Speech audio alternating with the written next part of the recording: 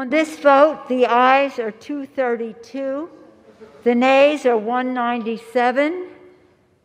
The resolution is adopted. 周三，美国总统川普成为美国历史上第一位两次被国会发动弹劾的总统。民主党指控川普所谓煽动叛乱，有十名共和党众议员投赞成票，其他一百九十七名共和党众议员都反对。A vote to impeach would further divide this nation.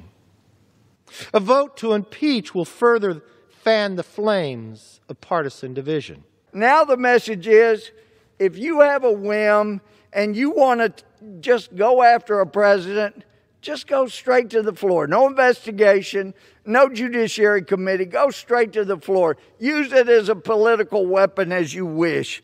This is so dangerous. Democrats' impeachment of President Trump today has now set the standard that, sh- that they should be removed for their support of violence against the American people.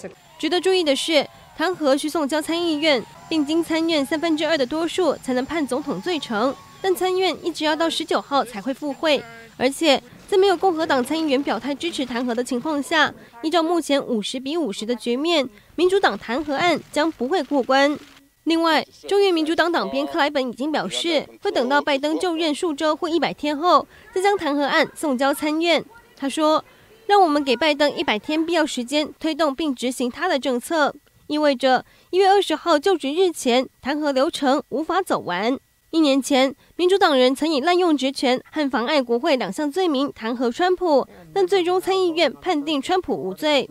新唐人亚太电视张麒麟综合报道。